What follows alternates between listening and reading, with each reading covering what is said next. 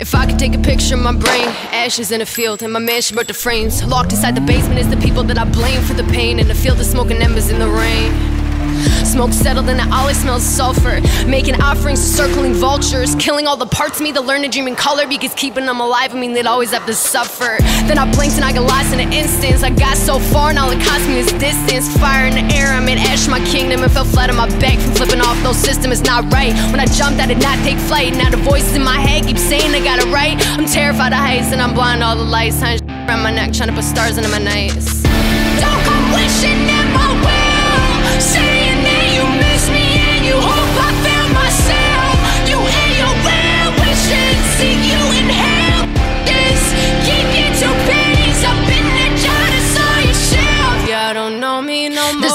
People that I wanna see, but I'm trying not to get in trouble with my feet. Walk string of bad decisions, she been known to go pee with a head full of issues. She tell everyone I meet. I used to have compassion for, think that they were asking for, it. didn't understand what they break it when they can't restore. Then there's blood on the floor, I see black like this wouldn't happen if I didn't find your knife in my bag. Don't you ever think you fueled my fire? Let me inspire. Like hitting rock bottom was just what I required. And when the perfect all fades and I was left in the wire, but you expected me to up and retire, you flake. How am I doing? I'm great.